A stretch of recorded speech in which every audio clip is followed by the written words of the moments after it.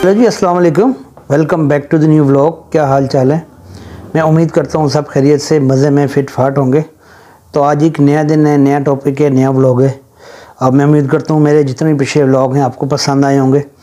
तो जिन लोगों ने मेरा चैनल सब्सक्राइब नहीं किया प्लीज़ मेरे चैनल को सब्सक्राइब करें लाइक करें और शेयर करें। आपकी सपोर्ट की बहुत सख्त ज़रूरत है। आज एक नया टॉपिक है, वो टॉपिक ये है कि आर्टिकल 91.4 क्या है?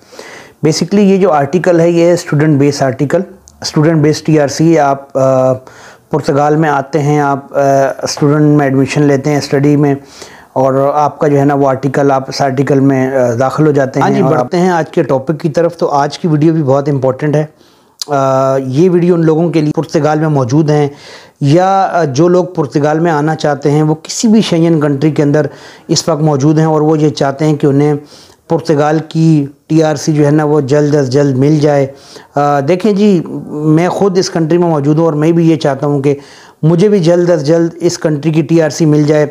हर इंसान की यही ख्वाहिश होती है हर इंसान का ये ख्वाब होता है। और देखें जी फाइनेंशियल चीज़ें ऐसी होती हैं जो इंसान को बहुत सारी चीज़ें ना करने पर मजबूर ऐसे लोग जो इस कंट्री में आए हुए हैं या शेंजन कंट्री में मौजूद हैं और वो चाहते हैं कि उन्हें जल्द अज जल्द टीआरसी मिल जाए तो मैं उन्हें यही मशवरा दूँगा कि आप पुर्तगाल आएँ और आप अगर वेल एजुकेटेड हैं आप यहाँ आएँ और आप आर्टिकल 91.4 जी आर्टिकल 91.4 में आप जो है ना, ये स्टूडेंट बेस जो है ना, वो स्टडी बेस जो है ना, ये टीआरसी होती है, जो आपको विद इन थ्री मंथ्स जो है ना, वो आपको मिल जाती है।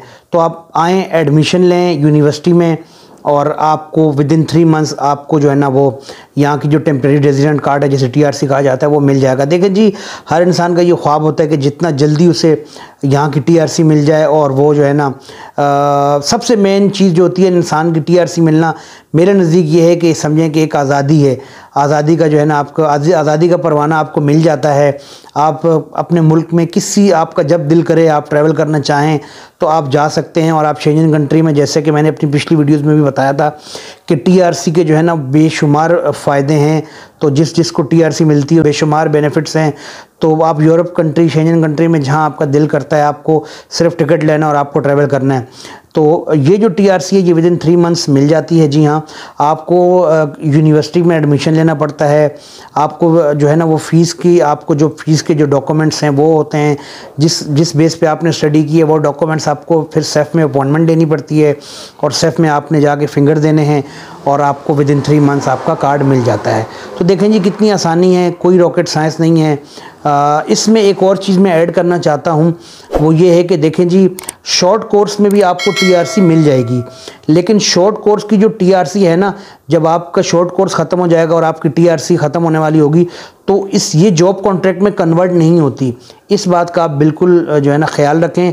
आप कोशिश ये करें कि आप दो से तीन साल कोर्स में एडमिशन लें और उसके बाद जब आपकी दो से तीन साल की वो रेजिडेंसी कार्ड जो आपको टेम्प्रेरी मिला हुआ है नाइन्टी वन पॉइंट फोर में जब आपने स्टूडेंट में एडमिशन लिया था तो जब आपका वो ख़त्म होता है तो आप जब जॉब कॉन्ट्रैक्ट वाले आर्टिकल में आते हैं तो वो उसमें ईजिली कन्वर्ट हो जाता है। ये मैंने की थी और मैंने कुछ न्यूज़ वगैरह भी पढ़ी थी।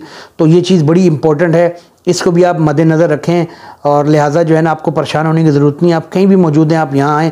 देखिए जी, मेरा अपना दिल करता है, मुझे भी विद इन थ्री मंथ्स जो है ना रेजिडेंसी कार्ड मिल जाए, लेकिन फाइनेंशियल चीज़ें इंसान को बहुत सी ऐसी चीज़ें होती हैं, बहुत सी ख्वाहिश, ख्वाहिशों पर जो है ना, वो रोक देती हैं। तो जो लोग फाइनेंशियली स्ट्रॉन्ग हैं, जो यहाँ पढ़ना चाहते हैं, जो यहाँ पर रेजिडेंट कार्ड जल्दी लेना चाहते हैं तो उनके लिए ये बेहतरीन ऑप्शन है।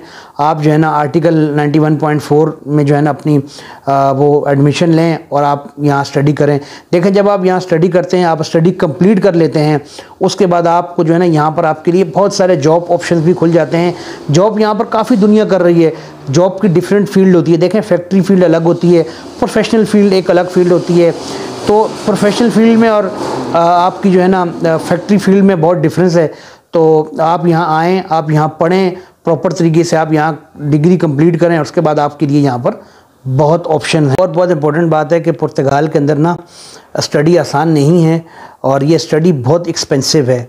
तो लिहाजा शॉर्ट कोर्स में एडमिशन ना लें।